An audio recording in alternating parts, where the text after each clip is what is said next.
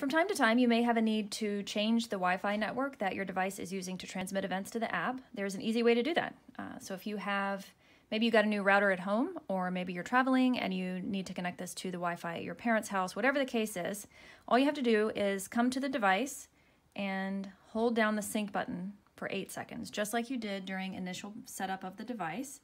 After eight seconds, you'll see all the event buttons flash white twice, and the sync button will be lit orange. This means it is ready for credentials. We don't need the app for this step. So we'll leave the app. You're gonna come back to settings on your phone, Wi-Fi. It can take a couple seconds, but you're gonna see Talli show up in your list of available Wi-Fi networks.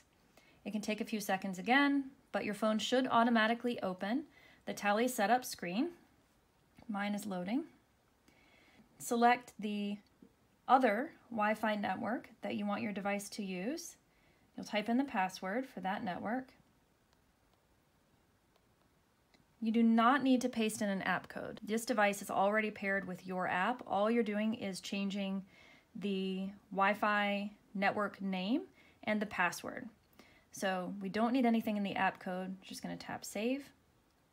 It has saved the new Wi-Fi network and password to the device.